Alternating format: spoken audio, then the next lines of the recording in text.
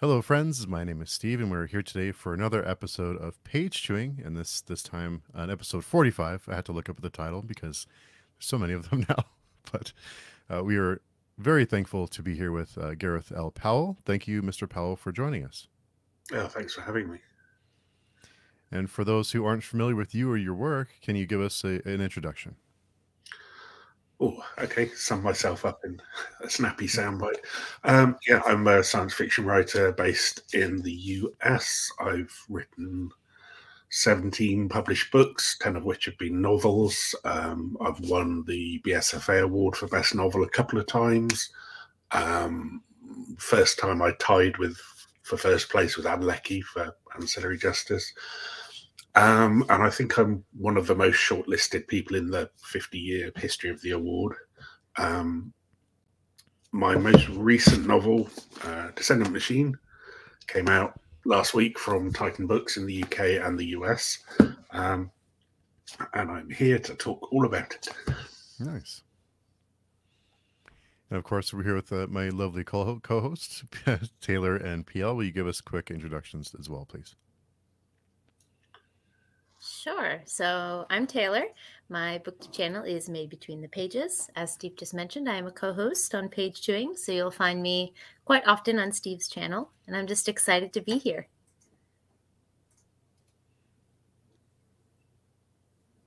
And PL?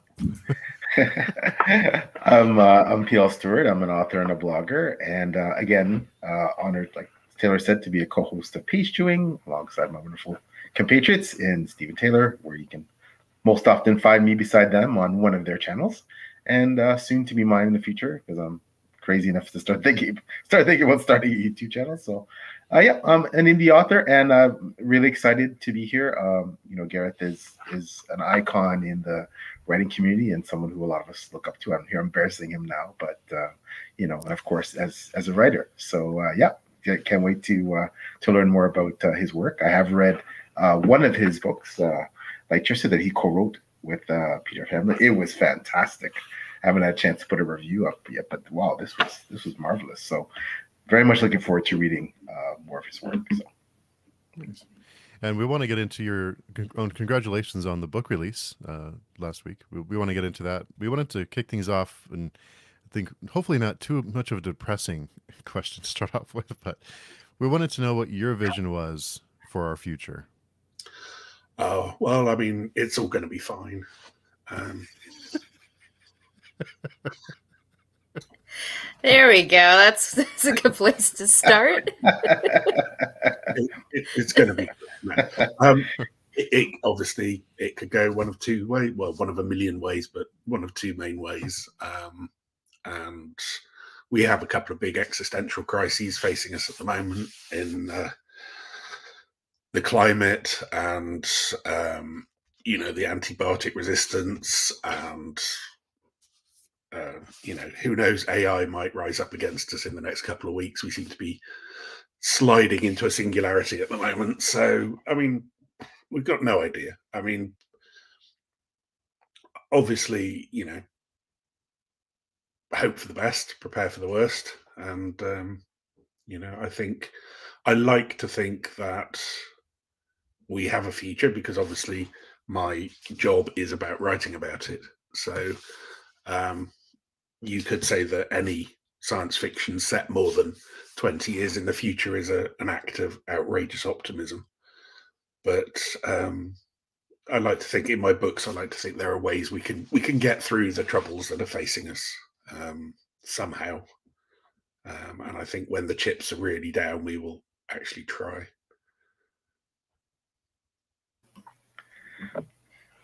I'm actually quite new to the genre myself, admittedly so. I'm I'm coming from fantasy and I have picked up some sci-fi, you know, over the years and I've become more interested in it. And something that I find so interesting about it is often the thought experiments that are in the writing, right? So there's so much possibility with sci-fi, especially when you're talking about the future. And to hear you say that with your our to hear you say that you hope that there's a way to find our way through what we're going through at the moment whatever that may be.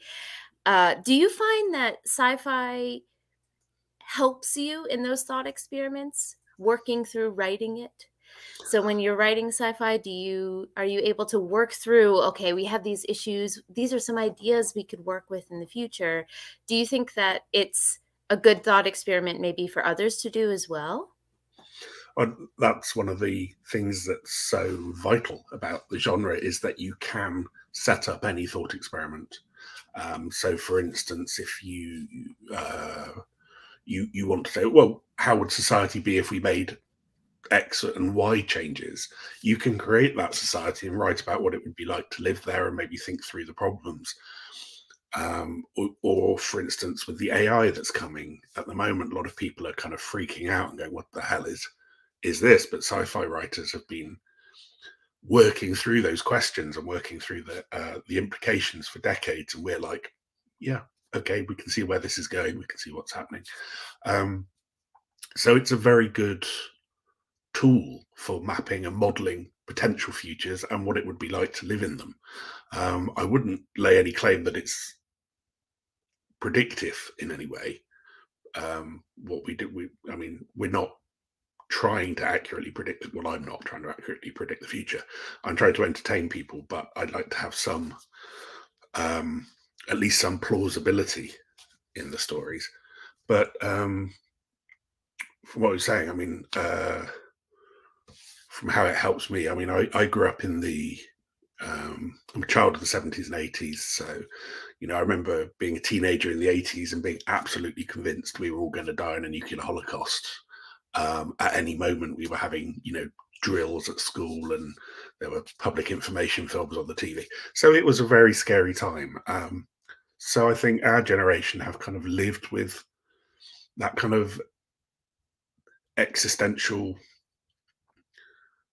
not dread, but that kind of background awareness that that the entire world could end in in six minutes or whatever. And I think that's that's kind of filtered through into my work quite strongly, um, especially in the book before this one, uh, Stars and Bones, which came out last year, uh, where I took uh, a sort of daydream from my 80s self that um, it starts with there is a nuclear war escalates um, and um, just as it's about, you know, everything's about to hit the fan, this kindly, omnipotent alien comes down and puts a stop to it all and confiscates all our toys and puts us on the cosmic naughty step. And that was like very much as a, as a teenager thinking, what, where are these aliens from Star Trek that can just step in and sort this stuff out because we're not doing a very good job.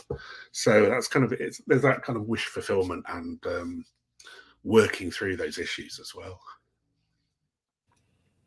When you're writing your stories, do you make a conscious effort to not make it too grounded in reality, to not make it too close to current events, to whereas there's that buffer from reality and fiction? Yeah, I mean, most of what I write is set in space. So It has, you know, um, with talking spaceships and talking cats, and so I mean, it's a, usually, you know, quite a distance into the future. But I do like there to be some kind of sense about how we got there from here. So even if it's just like um, uh, two or three sentence things one of the characters said, there's that link to uh, just show that how we got there. So it's not like uh, um, you know, it's not completely divorced from from who we are, where we came from. Okay, so Gareth, what so what compelled you specifically to write science fiction? Was it that you know perhaps you know in school you had like a, a scientific quantitative background? Was it you know what what made you? What was the drive to write specifically in that genre for you? Um, well, I mean, it's the genre I grew up in. Um, I was. Uh, I grew up in so the very early seventies. Um, I think the first time Star Trek was shown on UK TV um, my mother used to sit me in front of Star Trek. I was about three or four years old on an old black and white TV, and I just, you know, it, it seeped in. And then um, I was six or seven years old when the first Star Wars movie came out.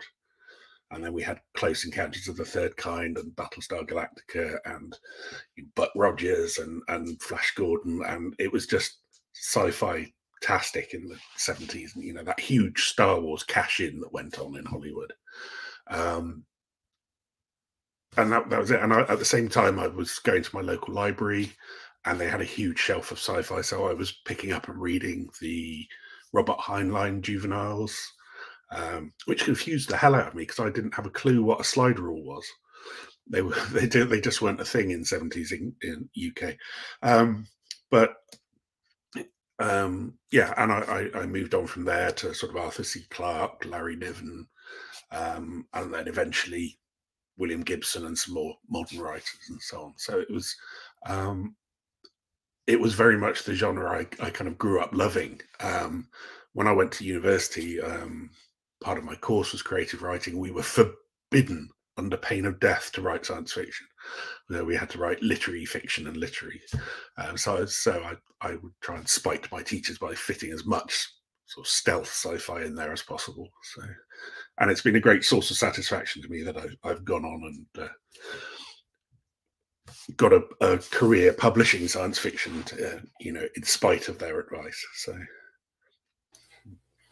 I hope we see a little snarky name in the thank yous in your books here and there uh, for those teachers.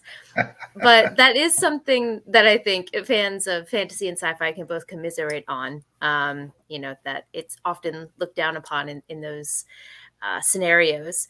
But it's interesting hearing you mention Star Trek because my mother is also Trekkie. And so the number of times I watched, you know, Trouble with Tribbles when I was little, I remember that episode so clearly.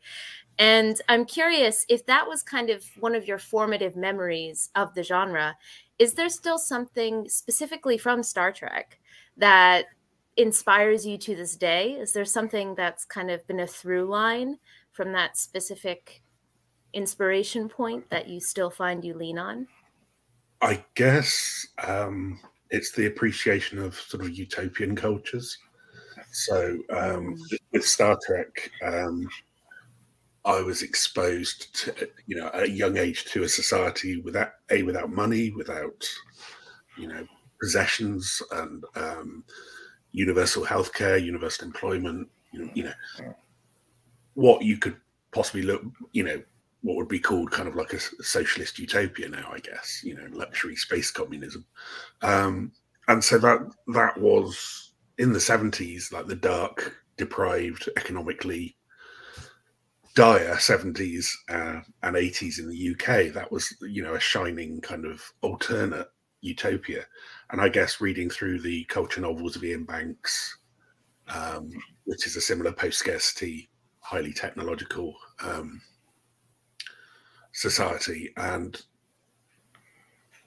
it's kind of, it kind of drew me to the sort of possibilities of technology, not in a kind of tub thumping technology is going to make everything brilliant way, but more in a kind of how can we use things to make our lives better? How could we make our lives fairer? Um, and that's why in these last two books, Stars and Bones and Descendant Machine, it's set uh, the human race is adrift in these these gigantic arks um, but everyone in the ark has everything they need because it, it, it's a closed system. So they have clothes, they have food, they have healthcare. They're basically living in one of the like the Star Trek utopia. Um, and people say it's very difficult to get drama in a utopia, but I've not found that. I've found you can make utopias very dramatic. Yeah, it's funny you say that. I think we're roughly around the same age. I was born in '69, so like you grew up in that same, uh, you know, the environment of the '80s and the '90s. Was a big, a big Trekkie myself. You know, I've loved, watched all the series, probably a million times with reruns because it, you know, Star Trek's one of those things. It was so pervasive uh, in terms of TV. I remember growing up, like you know, it would be on three, four times a day right in reruns. And of course by then the series by the time i was i was uh i was you know starting to watch it was already the original series already in reruns. And of course you know in in, in later times then the, all the new uh, series with next generation and so on. And uh, it's funny you hit on that thread uh, gareth about um despite the fact that uh, you know, in your series, it's utopian society, saying, okay, you figure, well, it's utopian society, so everything's perfect. How can you find the the drama and the conflict that that we look for in fiction. But you know, I remember specifically for you know, I mean, you think about Star Trek, that um, so much of that that conflict was created uh, by humankind's thirst for exploration and bring us into contact with other species. And you know, um, in Star Trek, of course, we know at, at the heart of it is is you know for for Starfleet and their prime directive, this this treading this line of of non-interference um, with with other uh, forms of life, yet you know um, you know having to defend themselves um, if there's a conflict, wanting to make sure that you know societies don't go afoul, don't go astray. So um, I think when we talk about utopian societies, and obviously you write about them, do you think that there is hope for us to achieve some sort of utopian society? I mean, you write about them. Um, I, I, feel like in my heart, if you look back at um, you, you noted about about writing something 20 years in the set in the future is is really you know hit or miss right? Because the technology changes so rapidly um, you know things that were predicted to happen you know much earlier in our in our in, in in our future perhaps haven't and some have come to fruition sooner than expected um, but yeah do you think we can we can ever achieve something like that based on today's um, you know well i'd like to think so i mean technically we could achieve something like that today if the will was there um, there are resources. You know, um, Jeff Bezos by himself could end world hunger and still be a billionaire. Um, you know, he, we could lift. You know, we could end poverty. We could end hunger. We could end deprivation. We could um, institute worldwide um, healthcare. But the will is the will is not there because um, the system we have prizes scarcity as value and is predicated on a myth of eternal growth, um, which in the Earth being a closed system, eternal growth is not possible. Um, but the, the, that's the kind of mindset that uh, we're, we're, locked into at the moment is the, the sort of acquisitive um, sort of late stage capitalism. Um, I don't want to get too political or, or kind of whatever, but we're locked into a system which has so much inertia that I don't know how we'll ever break it uh, in order to restructure it to make life fairer and uh, easier for the rest of us. I mean, I'm seeing um, a lot of stuff about universal basic income uh, coming in, which sounds like a good step in the right direction to at least, you know, let people have money to to invest in their own healthcare to and start their own businesses and and so on. So that, that's, but you know, if change comes, it will either come hugely fast, um, or it will be a very slow drip, drip, drip change. Um, but you know, so many um, powerful, loud groups seem to be dragging us back at the moment, dragging, trying to drag us back to this mythical kind of 1950s past, where you know, white picket fences and and um, no, you know, wives in uh, aprons in the kitchen and you know it, it's it it's fr- frustrating that we we have we have the means we just don't have the will to implement it at the moment i think the use of the word in, inertia is really interesting there because as humans as a human race that you are correct that is that is part of what we are i yeah. think and it can be a blessing both a blessing and a curse i think. This uh, uh, this need to continuously move in some direction that we've we've we're already shifting towards. Um, and the inability to kind of stay still as a race i guess i could say. I think it's different culturally. Uh, different cultures definitely prioritize different things but as people from the west i think culturally we also value that but i would argue at least to me it seems like human nature in and of itself is to continuously move forward. Do you would you agree with that statement or do you think that that's simply something we've gotten used to thinking is normal? Well, I mean, we're we're essentially very curious monkeys, um, and we like to poke beehives with sticks to see what will happen.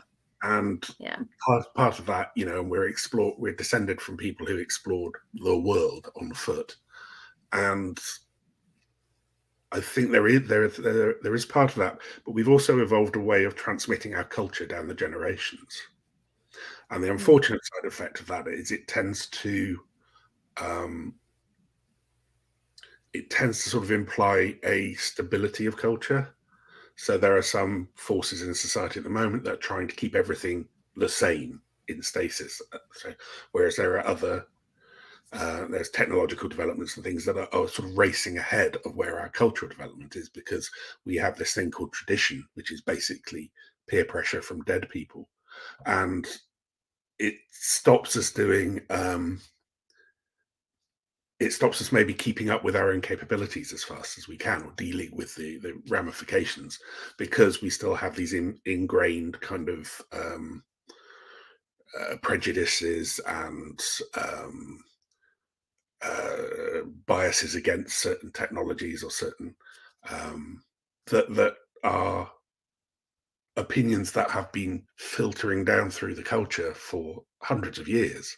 And these are just late i mean we're still seeing basically the American Civil War is still playing out psychologically um, because there are people who've just inherited those from their grandparents and their grandparents. And it's not that long ago, to be honest. And that's still playing out. It's been playing out um, through the 60s and it's playing out now.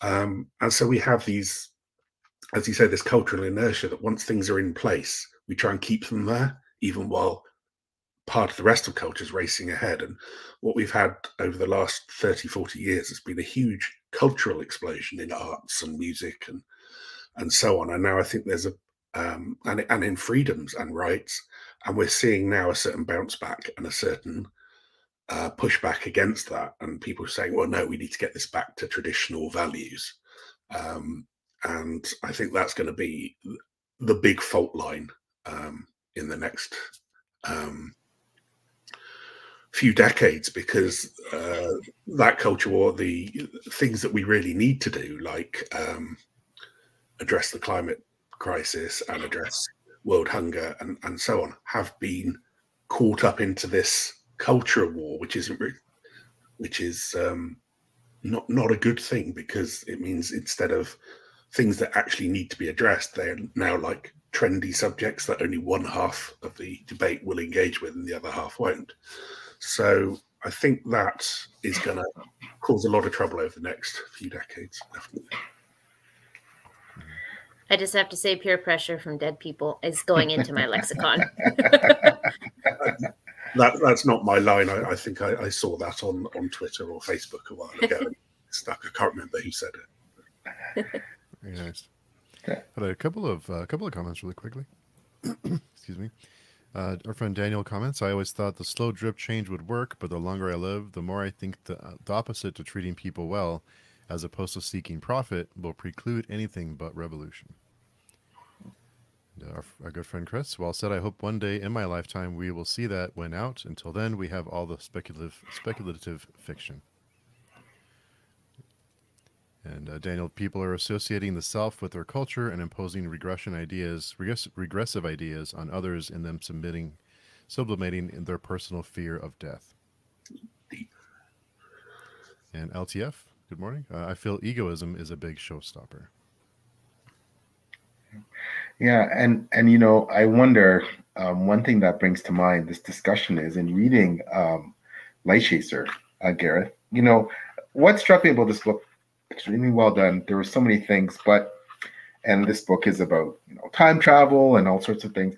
One thing struck me about this book and theme was that is it better to remain blissfully ignorant and unaware of what your real circumstances is if it seems that you know um, at least uh, what would optically from other people seems you're happy you're content you have all those creature comforts you have you know or is it better to know how dire your circumstances actually are is it is it is it better to especially if you know you figure and, and this this always brings the climate crisis in, into my mind. You know, you know, is it you know, or you, you can look outside right now and you know, there's, you know, it's a cloudy day, but other than that, you know, in in in a little bubble, there seems fine, right? But realizing that it's not fine. Um, so uh, is that always fascinates me, and is that something that in this book in particular uh, you you wrote about in terms of you know um, you know kind of blissful unawareness of what your circumstances are versus the reality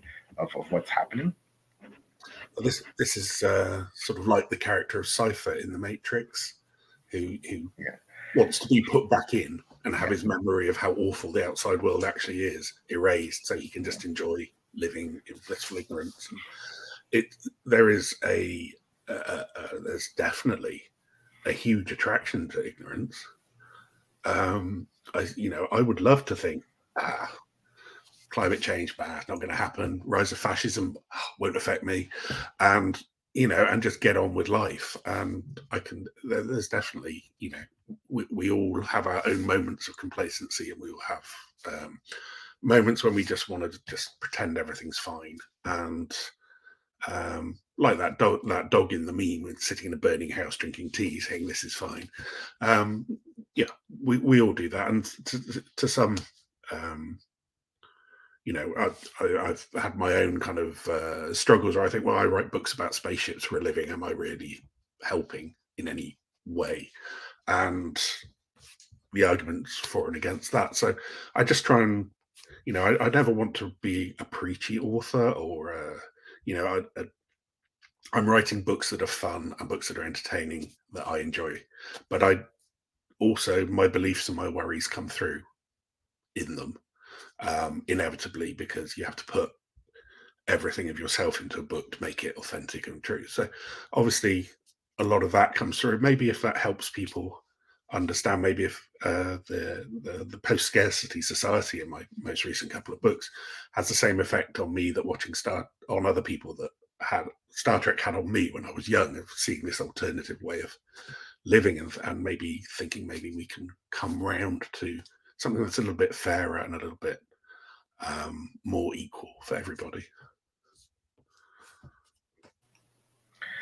This book also delves into um, AI and and the role of AI um, in in their interactions with humanity and what role AI will will play. Will it be a necessarily a benevolent role and a role that um, whereby AI is um, assisting us and helping us and is not necessarily autonomous and is not necessarily making decisions, you know, for us, or is it something a bit more sinister?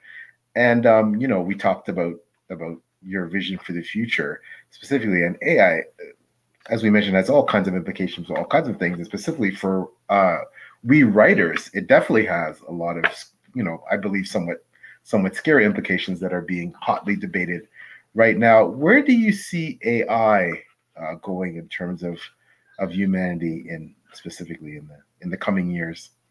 I think AI is like any other tool that it can be repurposed as a weapon um, and it can backfire. So, and it's also, I think, like a child that it will, um, as it's raised, is how it will grow. Um, you know, as, as as the twig is bent, so grows the branch. Um, it's, you know, we could raise it and I think there's a high possibility somebody will try and raise it to um, become an autonomous battlefield application with drones and, and those creepy dog robots and things. They're bound to try and, uh, um, and but I think on the other hand, a lot of the uh, fear of AI that we see, fear of like, and, and here I'm not talking about the chatbot things. I'm talking about you know, uh, true AI, a sentient um, application is, and I think a lot of the the fear of it is that if we create something more intelligent and more powerful than us, will it treat us the way we will we would if we were in that position? Um, so I think that there's a, a bit of a mirror there that um, we worry that um, I think a lot of this goes on in a lot of the human rights and, and sort of gay rights and things. It's like if we give everybody the same rights as us, will they treat us as badly as we've treated them? And there's that fear. So I think the same with AI in some way, in that we think, well, obviously it will enslave us all and, you know, use us as batteries in its power plant and, and Terminator robots, because kind of that's what we would do. Um, so hopefully, you know, we might create something that is slightly more intelligent than that and sees the world as a, a very small island of life and intelligence in a vast cosmos and decide that it needs preserving and work with us and for us to help us and preserve. Um, alternatively, there might be the there's uh, oh, what's the name of that game with the folding blocks? The, the oh, I know Minecraft. Tetris. Oh, Tetris. Te- oh, Tetris. Oh, okay. I heard about an experiment um, where they tried to program an AI to um, not lose at Tetris. So because it keeps coming down, and if the box, so they it's it was not to lose at Tetris, so it paused the game. Um, so they they might decide, well, we're going to preserve all life, so we're going to just put the whole of the Earth into storage. Um, or you know they might help us, or they might decide that we're too much of a threat to their power source and wipe us out. Who knows? I mean, it could go could go any way. Um, I tend to have AIs as quirky and helpful um, in my books because I think they make fantastic characters. Um, and I think the the old scary scary AI thing has been done to death. I mean, it's you know there are episodes of Star Trek in the '60s where um, there were computers telling people to kill themselves and stuff, and it was all going until Kirk showed up and pointed out it was stupid, and then they decided to reorganize their whole society. So it's not. It doesn't count until he says it. So. I think that comment about a mirror is really interesting because when you think about it, any any story that I've seen with AI not ending horribly is seen almost as, you know, naive, naivete, or uh, making up this utopia that's definitely not going to happen. But if I really like the the point you made about it being a mirror, because the fact that we can only see this ending badly, our creation acting the way we would. I think that's a really poignant way to put that. Uh, I know like the Murderbot series is very popular, and a lot of that is because it's it has that kind of quirky feeling to it and doesn't have that doom and gloom feel, which I think for many people felt fresh when they first picked it up. Uh, so I think you really have a point there also they, are sort of using Star Wars as a case study for AI as well, where it never evolved into this enormous um, godlike intelligence. It just remained at a normal kind of human level, and so you just have all these droids wandering around, kind of like a, an underclass, um, and fairly expendable with the combat droids and stuff. But they are AI; they're wandering around. They just it's just become part of the furniture. Uh, Daniel commented, I Googled the peer pressure from dead people line and was pleased to see it attributed to Ice T. But then oh, I found the same line in a vampire romance novel published a year earlier in that than that tweet. It's interesting. Ice T, yeah. Maybe we've just outed Ice T as a vampire romance reader.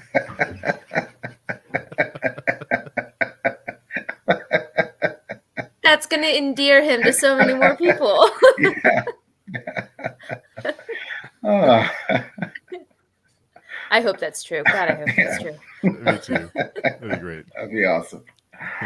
Uh, um, I, I, wanted to um, I want to bring it. Um, and it would, wow, some fascinating conversations we have here about um, AI, especially. Um, I want to bring it back a little bit outside of, of that discussion to more book specific stuff in terms of um, you wrote this wonderful book with um, with Peter K.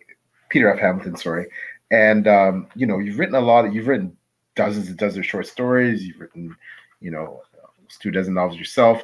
Um, this one is uh, is co-written. Um, uh, what's it like to to co-write uh, to co-author a book with another author? And you know, I I mean, I found that here the prose was seamless.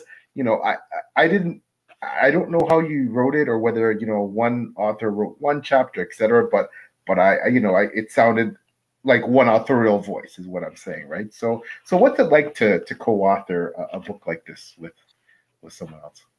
It's, it was a lot of fun actually. It was uh, I, I guess the nearest I can do is probably like two guitarists jamming on the same record or something. But it was yeah we um when we decided to to write something together um we threw a few ideas around and eventually we came up with a kind of um, you know, throw, I'd throw over an idea for a character, and Peter would come back with a, a society that would model that, and then we'd come back, and we, we went back and forth quite a lot. And then when we had something we thought had legs, um, I went over to uh, his office, and we sat there, and um, we we kind of just broke it down into like scenes. You know, we'll need a scene here, we'll need a scene there, we'll need a scene here, we'll need a scene on this society, blah blah blah. And it was like, well, I'll write that bit, you write that bit. You know, we just divvied it up, and I wrote most of the scenes set on the starship with the, the sort of character-based stuff, and he wrote most of the um, different societies. Um, but we we kind of did you ever play that party game as a child where you write a sentence and then fold the paper over and then the next child writes the next sentence and then you, yeah and then you come up with this story that's how we did it. You know he would write a, a chapter and send it to me and then i'd write the next chapter and send it back and then so that if we wrote them all out of order i don't think they would have felt as cohesive. So doing it that way we could read back and so we could write sort of cohesively with what had gone before. And then afterwards, we both edited it. So we both, so both our voices kind of crossed into the other. So that's, I guess, why it feels quite seamless. Um, but also, we, we, you know, our, our kind of styles seem to mesh pretty well, which wasn't something I was expecting because obviously he writes books the size of phone books, and I write slightly much shorter, sort of um, fast paced stuff. So, um, but it was a lot of fun. It was a huge amount of fun. And I got to read new Peter Hamilton fiction before anyone else, which was kind of cool. So. Yeah, that's awesome. Um, I again, you know, love the book. There were a lot of things, uh, so many things in here. You know, like a timeless love story. Um, you know, um, the, one thing again that struggled with this book was that you know was frankly, and, and I say this, you know, uh, it's the only problem is the prose was fantastic, right? You know, it was, it was the prose was was wonderful and sometimes very lyrical and poetic, and of course dealing with some big themes here. But um, I I understand that you know um, from what I'm gathering about you is that you're uh, a character driven uh, writer. So you your your books are which appeals to me as a reader because I'm very much a character driven reader, and I think a character driven writer myself. So in terms of this collaboration, uh, like you said, so was was you was it you more focusing on you know the character based stuff in in this novel? Is that how it, it worked? Yeah, I mean, Peter put in a lot of stuff about strangelets and subatomic particles and physics and and I let him do that because he knows that stuff better. And the thing I know is how to write characters, and, and you know, my my spaceships tend to be quite. I like to make them plausible, but I don't know how they work. So, um, whereas was he's much more kind of um, has that much more technical frame of mind. So. Wow. So, um, and in saying that, is are you do you so your your series um your main series, I guess, you're best known for, you know, Embers of Worthy Belief. So that essentially would be we if we're looking um, to kind of like your sales pitch for that. It's a character based, driven, like more space opera kind of thing. Can you talk a bit about that that series? Uh, definitely. Well, yeah, it's uh, it's a trilogy. Uh, starts with Embers of War, um, and it's character based. It's told uh, by a group of five or so narrators Uh, one of whom, who is arguably the main character, is a sentient warship who has um, resigned following a um, an atrocity that was carried out to end a very destructive war. Um, but she accidentally developed a conscience, which is the last thing you need in a warship. Um, so she resigned, and obviously warships have never resigned before, so that, that, was kind of weird. And she's gone off and she's joined this uh, rescue organization, um, and she's um, she's a very interesting character because she's struggling um, to work out who she is. Um, her, a lot of her neural architecture is based on um, stem cells from from a dead soldier that they've used to kind of uh, create this AI, and they've cut it in with canine DNA to to give her a pack loyalty to to the rest of the fleet. Um, and separated from that, and with her armament gone, she's kind of struggling to be good and to be helpful, but at the same time, she's kind of hardwired to blow things up. And so she's kind of like where and, and it's that teenage at one point i think she says that she's a teenage girl with all the social graces of a missile. And that's kind of her struggle. And i think for some reason that's really resonated with a lot of people because i think we've all been teenagers and we've all been you know where do i fit in? What do i do?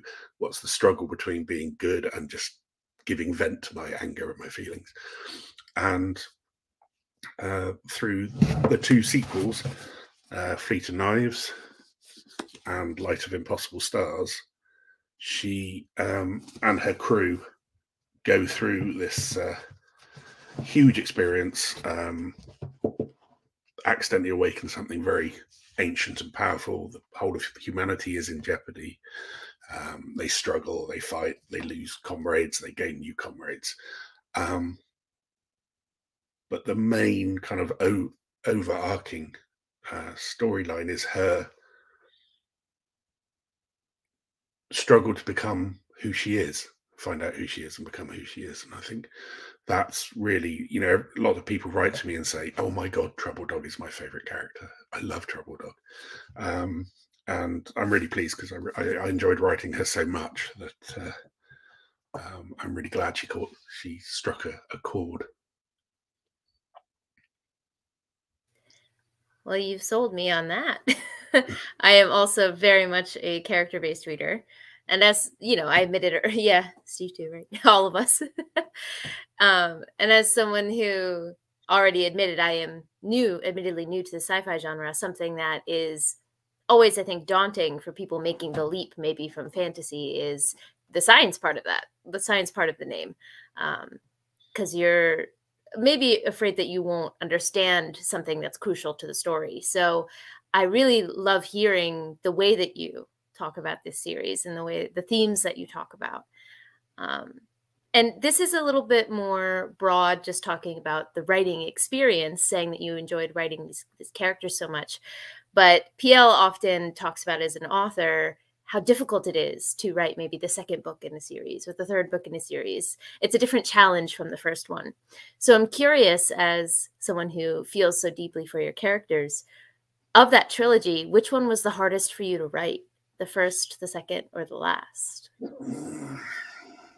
Actually, it was the last one. Um, mm. I, hmm. I, wrote the second one really quickly after writing the first one. Um, but then when I came to write the third one, the first one had just come out and had come out to very, very good reviews, and people were, yeah. So suddenly I felt performance anxiety. It's like with the second one, I just wrote it and it was fun and I got it, you know, I did it. With the third one, it was like, oh crap, now I'm going to have to tie this series up in a way that satisfies these people who are really enjoying book one. So suddenly it was, um, suddenly the safety net had gone, and I, I thought, oh god, I'm going. I, I, have to stick the landing. I have to deliver. So that that that was the um, that that was the most difficult. And and during the course of the, uh, the, the, the trilogy as well, there were a couple of character deaths that hit me quite hard as well. Um, that I kind of thought, oh, wish I hadn't killed them off. So, but yeah, it's. Uh, I always love hearing when authors say that because it's like you have the control, but it seems like the way authors talk about it, you almost don't. like this needed to happen, so you suffer along with the readers almost. Well, I think if you create authentic characters, then you kind of can predict how they would respond and how they would act and what they would do in certain situations. Then you have to be true to that because if you suddenly make them act in a way that is different in order to satisfy your plot, I think it comes across as quite contrived. So sometimes you kind of follow their decisions and they paint themselves into a corner and you think, well, the only way I can get them out of this is to do something really contrived and really artificial or make them act in a way that the reader's going to go, hang on, what? she wouldn't do that.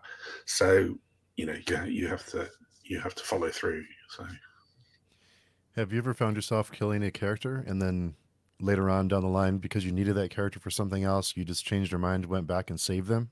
Have you ever done that?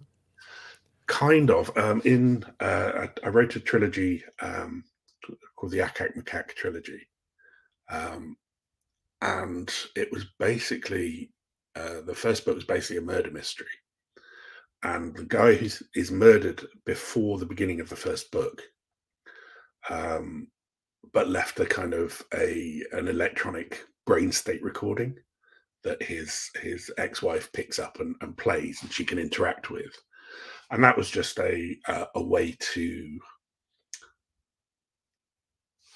uh, kind of give a few clues and to get the mystery going and to show the relationship between the two of them. But the guy was dead it's just an electronic recording and i didn't think anything more of it but he was still there at the end of the third book because the relationship that developed between the two of them became so fascinating that I just couldn't kill him off. You know, he, he, I mean, he was dead before the first book started, but he just hung around as this electronic ghost and, and, you know, his awareness of himself as a recording, you know, at one point she takes him to his own funeral. Um, so he knows that he, he, he's a recording, but the way that they are able to build a relationship that is very different from the relationship they had when he was alive, because obviously he's he's her ex-husband, but now they they develop something much closer and much more real when a lot of the stuff has been stripped away. Um, that he he and people kept writing to me and saying, "I just want to give him a big hug," um, and stuff. So it's it's like he was supposed to be just you know dead and gone by the end of chapter two of the first book, but he was still there at the end of the trilogy because you know he just demanded to be. Yeah, I found that there are some characters. Uh, it seems like you feel the same, Gareth. That they've just demanded more agency, and they're just kind of taken on this role that you didn't necessarily anticipate. In even if you're, you know, your your your your story's pretty well plotted out, and you know what's going to happen. You know, perhaps you've given someone a larger role than you know than you first thought because you know this character just speaks to you, and you just feel that you know they're so compelling. You need to to you know do something more with it and that's kind of a fun experience as an author to have a character just kind of you got to give you more more page time there's a very famous example of that which is moby dick where um, melville originally had a, a, different main character in mind but then as soon as he met ahab he just threw the other character literally overboard and concentrated on ahab because he just found it yeah and he couldn't be bothered to go back and rewrite the beginning so he just carried on but yeah yeah, it's funny because you you've been reading. You were reading Moby Dick, haven't you? Been Taylor? You've been reading uh, Moby Dick. I was just about to say I've been triggered. yes, um, I had a a classics challenge on my channel, um, and then Moby Dick. While I have really enjoyed my process of reading it so far, for some reason I just hit like a mental block, and that put a stop to that challenge. And I've been reading it since last year. so um, I haven't gotten the literal thrown overboard part yet, but I'm about to be there. So that'll add some context, I think. Yeah, I mean, I'm enjoying it though. It's a good book. Braver than I am. Uh, Daniel had a comment. Uh, ancient and powerful along the lines of a fire upon the deep, or is that not a good comparison? Mm, kind of a comparison. So, just wondering too, as well, Gareth. You know, you mentioned a lot of. Uh, I know, like you, I I did read quite a bit of sci-fi. I was younger. As for some reason, I I I I wavered over to fantasy, and then of course I ended up writing it. But you know, Phil K. Dick and and and Asimov and uh, a lot of these writers, you know, I read when I was younger. Um, who are your influences? You you think the great writers of the genre? Who are the people that that really inspired you to to? I think different writers inspired me at different times. Um, I think this, you know, I, I, tried to write sci-fi for ages, and I was writing kind of Arthur C. Clarke, Larry Niven type stuff, which I wasn't really. It, it wasn't. I wasn't really having a, a, a much success with it because you know it was all you know alien invasions where the president is and I don't know anything about presidents or what it's like to be in Cheyenne Mountain or whatever. So suddenly I, I picked up this copy of um, Burning Chrome by William Gibson, his short story collection. And it was all about people on the street. It was about normal people trying to live normal lives, trying to get by. And then seeing that with like the movie Alien, which is just about some, you know, people there to get their bonuses and you know they're not heroic space captains or whatever they're just normal people. And that kind of flicked a switch in my head and suddenly i knew i just had to start writing about normal people. I just had to start writing about people i knew. Um, and that made all the difference. Suddenly i was writing about characters. I was not instead of writing about these kind of big unwieldy situations i was writing about characters and i was writing about um, things that are important to people, and that really kick-started my my career properly. Um, that's uh, you know, and I found my voice, and I, I everything led from there really. Um, mentioned earlier Iain Banks. I, I, guess he would be a huge influence, and um, yeah, uh, I mean, so many of it is difficult to to um, yeah, Ursula Le Guin. Um, yeah, it's. Uh, I mean, there, there, are so many. It's diff- di- difficult to pick them out, but uh, yeah, definitely. Um, that was definitely a turning point with the Gibson and, and Alien and Aliens. Yeah. If someone were to ask you where where the best place to start with your work is, uh, what would you recommend? Where would you recommend they start with your with your work? Uh, well, Embers of War is a very good place to start. It's the first of a three book trilogy, but it, you can read it as a standalone because it's a fairly self contained story.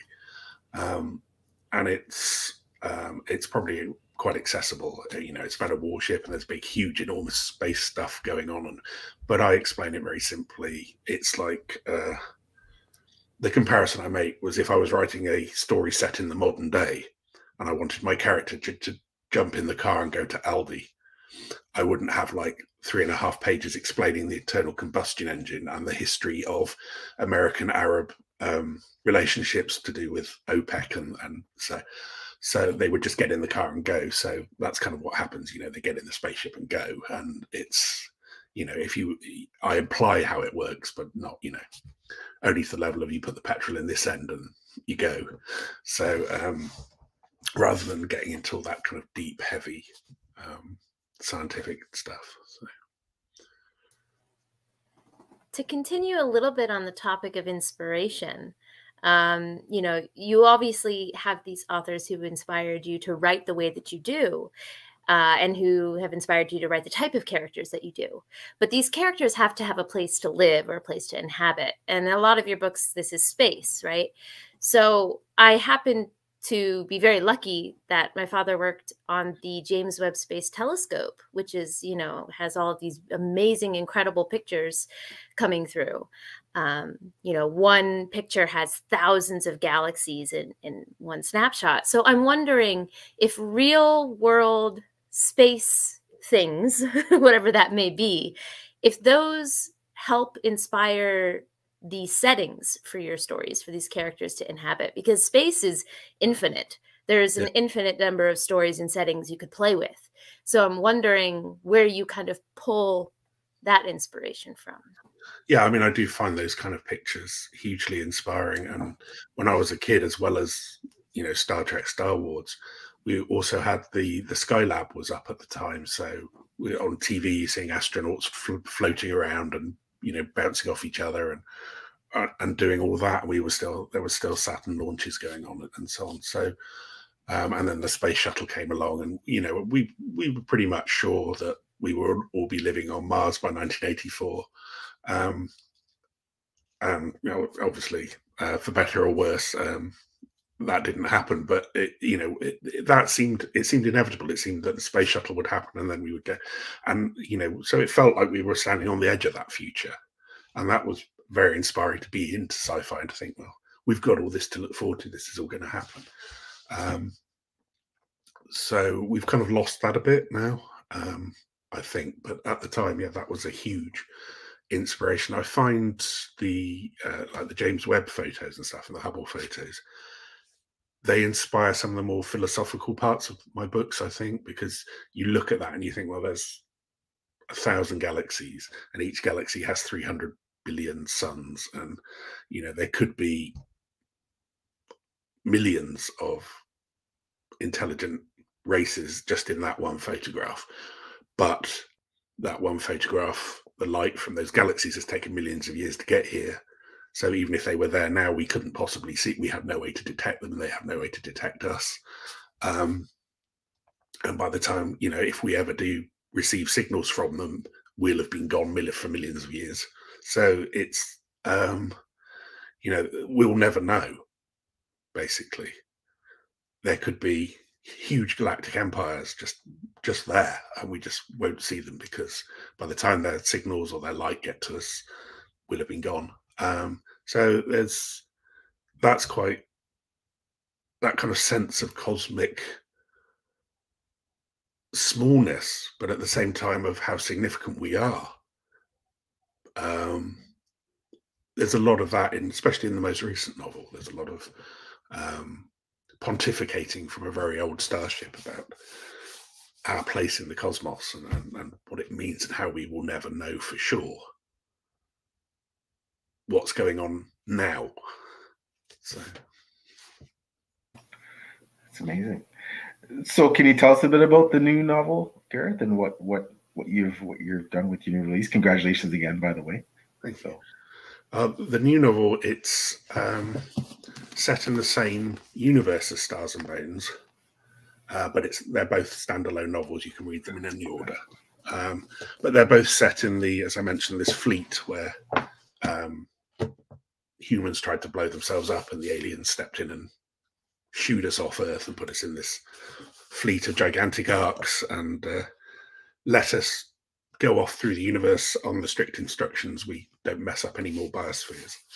And um, so we're like cruising through through the universe in these thousand arks and there are sort of smaller scout ships that go off ahead of the fleet to kind of scout the territory ahead and get into various scrapes and trouble um, and in, in Descendant Machine, they discover a giant ring the size of Saturn's rings with a, a, dark globe the size of the planet Earth in the middle. And it's a machine. And there's a small race of um, caretaker um, aliens who, who were there, who maintain the machine, but they've lost in their history what the machine is or what it does or how it works. You know, they've got legends and they, um, and they, ha- they have a holy man uh, who is the cu- the custodian of the two big secrets. Um, and then, so when one faction decides they want to open the machine because they think inside must be a wormhole to um, their technological ancestors who built this thing, and so they decide we're going to make our planet great again. We're going to open this machine and reclaim our, our places at the top of the universal tables and things. And it becomes very populist. And uh, then there's another faction who uh, most of the humans are on, which is like, we think that's probably holding something really nasty in. So it's probably best not to open it. And so there's a race between the two factions to see whether, you know, who could get these two great secrets first and what happens when it opens. So that's fascinating. What that it sounds great. box in space. yeah. well said. What made you decide to um, continue this novel in the same uh, broader universe that your your this this other your other series was was set in instead of going on to something completely different? Well, when I finished the Embers um, trilogy, I wanted to create a new um, a new universe in which to tell stories. So I came up with this idea for for Stars and Bones, this scenario, and I talked to my publisher, and they were they were like, "What we really want and what we'd really like to see is some standalone novels set in the same setting, um, because that is much more attention grabbing for readers than, than picking up a book and thinking, oh, I have to read another three books before I can read this one. So um, there's like a, a sense of a series, but at the same time, they can just pick them up in any order and it's more engaging for reviewers and readers and, and so on. So we decided to give that a try. So I, I built the um, the setting in such a way that I could tell many different stories in that setting. Um, and hope you know, I may at the moment I'd have no more plans for that setting beyond those two books, but I could always return to it at any point if I think of a, a story that would suit. Fantastic. Now I have a someone question that. To, sorry. Oh, I'm sorry. Uh, just no, no, just a comment on that, which is someone needs to tell fantasy authors that because the n- number of series where it's like you got to read eight books first. It was just a comment on that. That's all. That's a good point. I better take that. On, I better take that under advisement. um, I, a couple of questions, two that are burning me. I'm going to ask the the first one first. Was that um? So Gareth, you know, you you've obviously you're a very decorated writer. Um, you won awards. You know, you've written all these books. Um, do you feel uh more is has this all the success and all the accolades? Do you feel that's more pressure or less pressure? So in other words, you know, you know you've you've you've you've been a best-selling author, you've won, you know, these writing awards, you've written successfully series, short stories, all these things. Does that make things easier in terms of when you sit down and write a book? Okay, you know, I know my craft. I, I am working for continuous improvement. However, you know, I, I I have a foundation, and I'm you know or do you feel is it more of the pressure of the success? Okay, well, I have to, you know, write a better novel each time or a better short story. How, how do you feel about about that? Uh, interesting question. Um, I mean, it's not all kind of cocaine parties and, and groupies here. It's um, it, it's not quite kind of that situation. um, it's yeah. I mean, I always one thing I've always tried to do is try to make every book I write better than the one before. Um, and I think if I ever got to the point where I was just knocking something out for the sake of it, I, I, I think that complacency would kill it and kill any talent I had. So I, am always striving to make each book as, as just as good as I can make it and put in as much as I can, like as much truth and authenticity and stuff as I can. So I mean, it's always I never feel I never feel that I've made it. You know, um, I guess I guess maybe if I won a Hugo and and got a movie contract or something, you know, I was sitting in a house in the canyon in a Hollywood, whatever, I might think, well, yeah, okay, but I never, you know, sadly, the if the financial uh, rewards for uh, my levels of success are not what you might hope. So I, I never kind of look back and think I made it. I'm always thinking, well, I've got to get another book deal. And, you know, I've got rent to pay, so let's uh, let's let's keep writing. Let's keep going. Um, and I, you know, I just want to tell as many stories as possible. Oh, you're very you're very humble. So yeah, that's that's that's fantastic. But congratulations on on all the success that you have achieved. So uh, no doubt. And you know, I don't doubt that one day you you will. You know, I know you've been nominated for a Locus before. I'm not mistaken, and and you know, so no doubt that you know that uh, that book deal, that's where that movie deal is coming uh, down the road. So we might see uh, see all your stuff on the big screen or the small screen, depending. So. Um, so my second burning question is that uh, you are also married to another author. So that's it. So um, how does it? you know, so do you guys bounce idea? I don't want to try to pry too much. Do you guys bounce ideas off each other? Uh, what's that like? You know, being uh, being married to a fellow and very successful fellow author. Uh, it's a huge, huge amount of fun.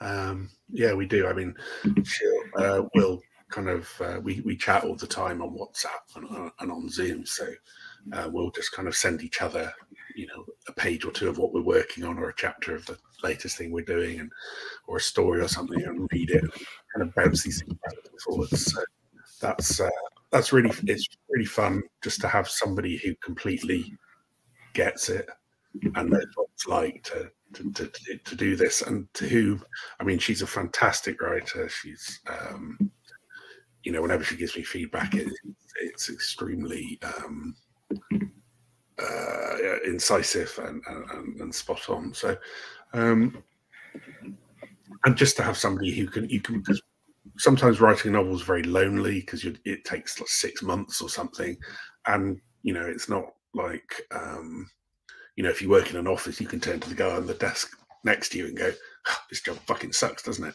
Um, and and and chat and you know, so you come, but you know, having you know, um, being married to somebody who gets that and who who understands, and it's there's a, a, a great feeling of sort of mutual support there. So.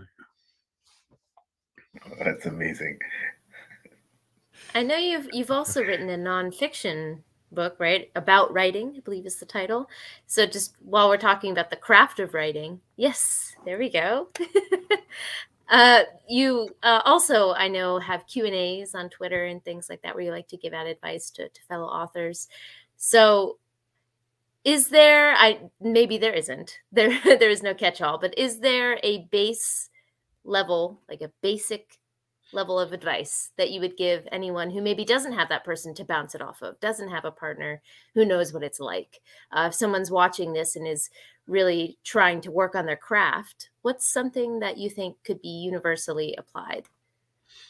Um, coffee.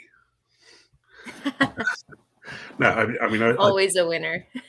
I, I try not to give prescriptive advice like you must do this or you must do that and you don't do that so, so in the book it's much more encouraging and like this is what's worked for me but won't necessarily work for you but here are some approaches you might like to try and here are some other approaches you might like to try so i try very much to be more of a a coach and a, a, a you know just gently push people onwards than actually sit there and wag my finger and tell them what they should and shouldn't do. Um, when it comes to you know very very basic advice, I mean, just read. I mean, read good books and find out why they're good. Read bad books and find out why they're bad. You know, if there's a book you hate, go through it with a marker pen and find all the bits you hate. And if there's a book you love, what is it you love about it and just read critically read as a writer and just think mm. but also read to fill up the um the mental aquifer so that you know you, you have to keep refilling that you have to keep refilling the creativity wells um and that's basically it i mean I, i've sadly um you know i've done some um well quite a few uh, workshops at universities and so on around the around the uh, Europe and, and what have you. And there will always be a student who, well, I don't really read, or I'm writing this fantasy epic, nine book fantasy epic. oh, really? And but I don't I don't read fantasy, but I think it's quite commercial, so I decided to write fantasy, and it, it's just like, and their story is like the most basic cliched rubbish that could have so easily have avoided by just reading some stuff and, and seeing how other authors have approached it and avoiding all the pitfalls and oh man sorry i'm just having flashbacks to that guy. Um, so why would you write the first five five books of a fantasy series when a you don't know anything about fantasy and b you haven't even sold the first one yet i mean the sheer amount of effort for you know, and, and there was no way he was ever going to sell it because it was it was dreadful. But um, just to expend that amount of effort on something without getting any feedback or without, you know, it, it, it boggles my mind. So don't do that. Don't do that. Read, read lots of books and and take heed of what you're reading and read it. Read actively.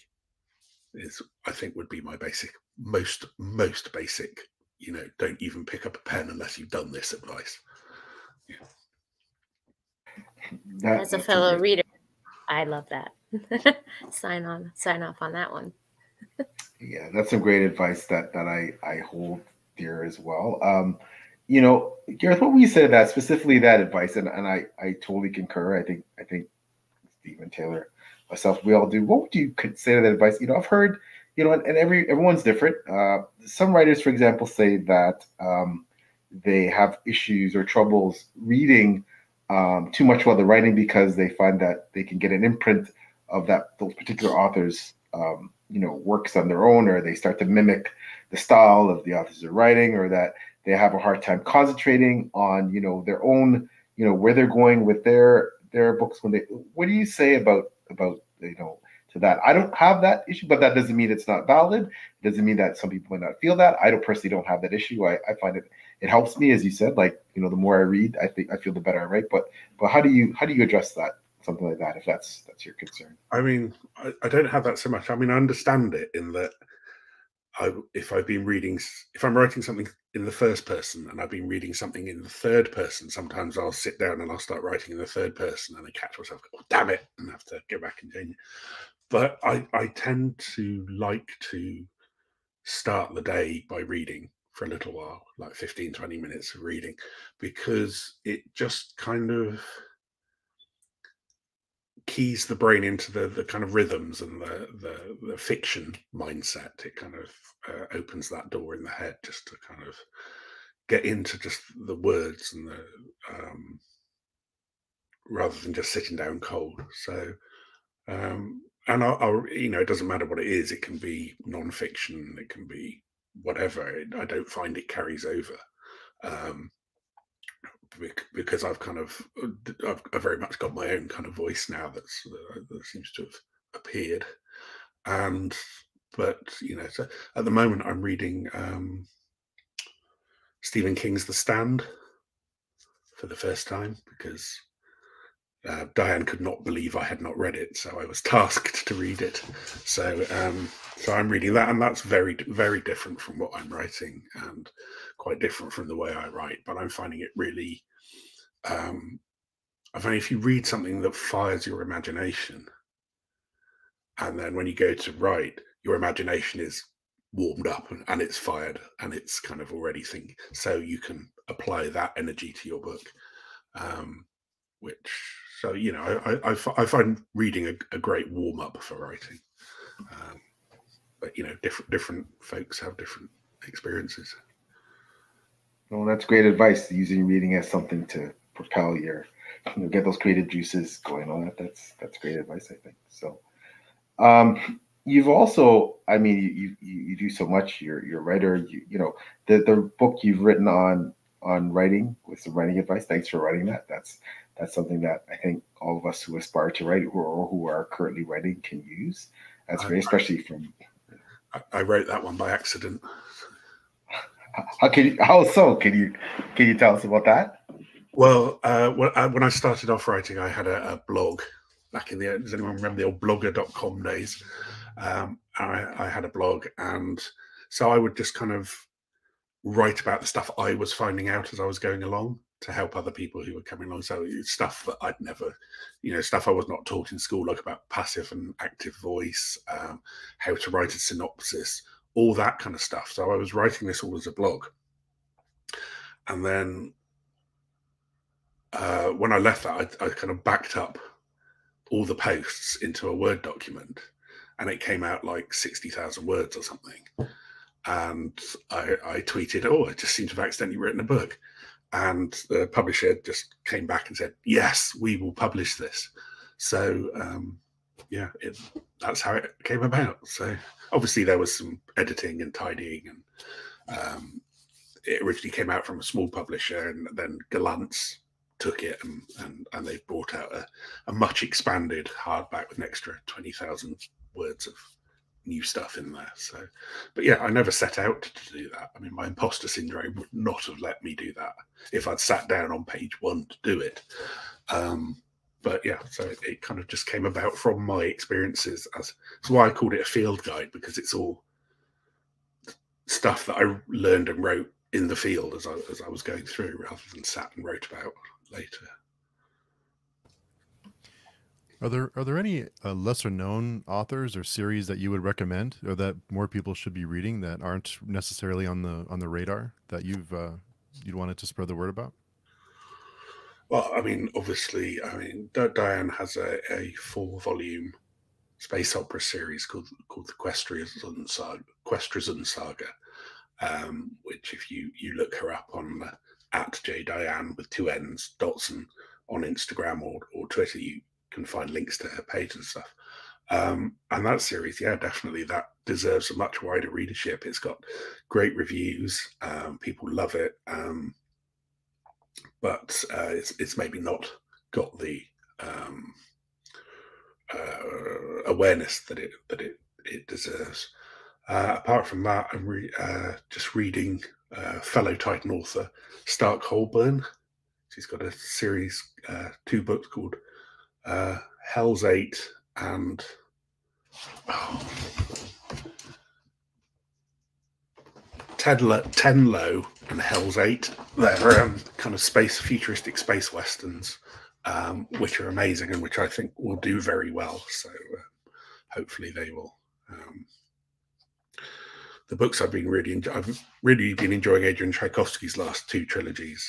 But I mean, he hardly needs me to uh, give him a shout out there because he's he's you know uh, doing amazingly well with those. So. Yeah, those are both definitely on my my radar, Tchaikovsky and, and Dianne series. So yeah, that's that's fantastic. Um, well, might we see any? You know, you might be able to might be able, to spill the beans. Might might we see any collaborations between Dianne and yourself in the future on, on um, a sci-fi book? We we've we've hit some ideas back and forward. Uh, we've we've got our own uh, own stuff to work on at the moment, but you know, sometime definitely would love to do that. That'd be awesome. I imagine there's got to be some ideas that you've both come up with, and neither one of you can actually claim. So to be able to put those together into one would be, I'm sure it's going to be amazing. Be a lot of fun. Yeah. yeah. The uh, the time always flies on these, but um, before we let you go, um, I, I like to finish off the episodes with the last question, and that question is, uh, what was your first job? What was my first job? probably a hospital cleaner. Hmm. Uh, when I was uh, um, when I was uh, in uh, what we call the sixth form, which is uh, over here, which is uh, 17, 18, um, studying for my final high school exams. I used to work on the weekends in the, the local hospital, just cleaning and sweeping and hoovering and, and stuff for you know beer money for the evening. And, what did you uh, What did you learn from that experience, or what did you take away from that experience that's that's carried with you throughout your life? Um, that people doing essential jobs tend to be a lot lower paid than people doing non-essential ones, hmm. um, and that you know the reality is messy and smelly. Um, and looking after people is a really good thing to do. Mm. Um, and working uh, for things that don't benefit people is just a complete waste of time. Yes. Well, uh, we want to thank you again for. We know you're very busy, so thank you so much for taking the time to chat with us. We really, really appreciate it. Uh, but before uh, before we go, can you tell everyone where to find you? Where's the best place to to find you and your work? Um, my website is www.garethlpowell.com. There's links there. Um, or I'm on uh, Instagram as at Gareth L. Powell. I'm on um, what remains of Twitter as at Gareth L. Powell. Um, and there's uh, links links on there to a link tree which has all my social media and my books and, and and all sorts. And my um, I run online masterclasses as well uh, hmm. for in creative writing. So uh, there's there's links to those as well. So. Hmm, awesome. So uh, PL, before we go, can uh, can you tell us where people can find you and your work? Um, books www.plstore.com. Uh, social media preferred channel is as Gareth said, Twitter at PL right. Uh, beside you and Taylor, of course, I'm page chewing again. Uh, I'm an assistant editor with Before We Go blog. So reviews on Before We Go blog and on Goodreads. Hope to have a review up on Light Chaser uh, in the next in the coming weeks. is great and plan to read. Um, you know, definitely uh, more of Gareth's uh, work. Uh, I quickly want to say. Um, you know, Gareth, one thing that we didn't get a chance, unfortunately, to talk about is that, you know, Gareth, again, too modest, but he's wonderfully inspirational on wonderfully inspirational on social media.